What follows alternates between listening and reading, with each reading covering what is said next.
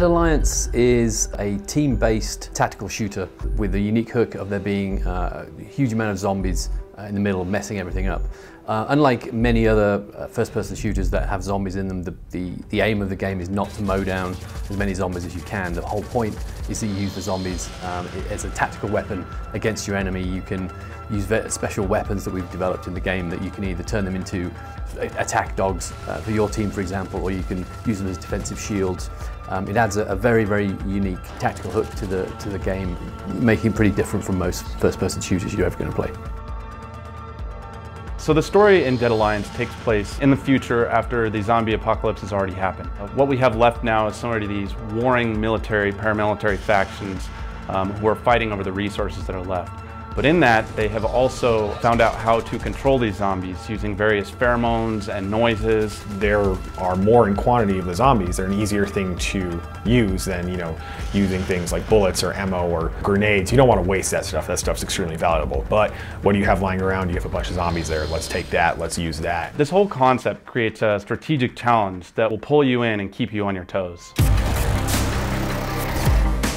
It's always fun to actually get a kill on somebody else with your weapon, but it's extremely satisfying when you are able to weaponize a zombie and it ends up taking down three people. Really, it kind of makes you rethink the way you play a first person shooter. I mean, there's guys we play against in the office that are great at shooting, but I have an advantage over them because I know how to weaponize the zombies. The most direct way is to just weaponize a group of zombies when they're near an enemy and they will help take down that enemy while you're also attacking them yourself. Or even block uh, an enemy's egress into or out of a building.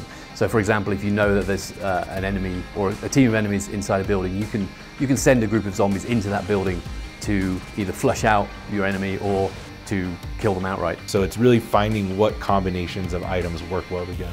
There's a PAM grenade that you can throw at the zombies and it gets them super mad and they will be hyper aggressive. I've seen people use zombies as kind of a wall. So they'll use the LRAD, which basically attracts zombies into an area so that the snipers and the enemies at a distance couldn't really attack them. So they had to pick off a wall of zombies at first. And so it really just creates a more dynamic battlefield for players to experience. In any first-person shooter, uh, teamwork is a cornerstone of the experience.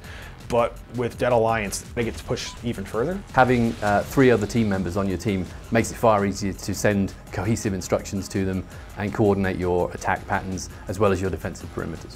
So keeping it to a 4v4 experience, you have a tighter knit team. And also thematically, there's not many humans left because everybody's a zombie.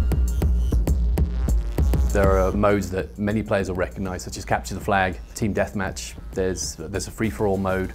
Um, so in the example of Capture the Flag, um, you're not actually just moving a, a, capture flag from point A to point B. You are actually picking up this canister of zombie pheromones, and as soon as you pick it up, interesting things happen with the zombies, like now they react differently to you. And we wanted to add a, a unique mode that's never been seen before. And we hit upon the idea of maybe borrowing from a MOBA game creating a, a, special map just for this mode. So attrition mode is each team has a base that they spawn at and there's two different lanes on the map and sort of a jungle area in the middle.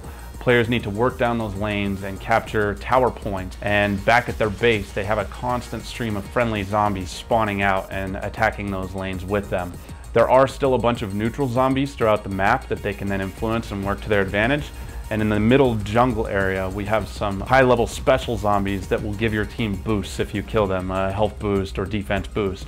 The goal is to push the enemy's lane all the way back, at least one of them, and then attack their final base. And once you destroy that base, you've won the match.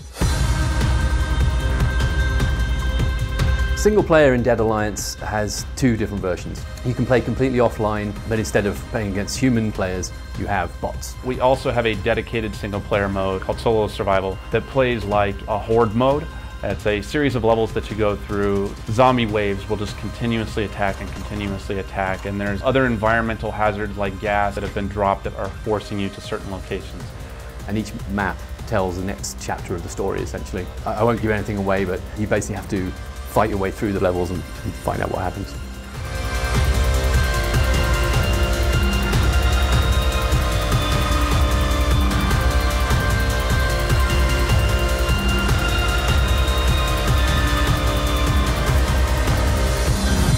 We'll see you on the battlefield.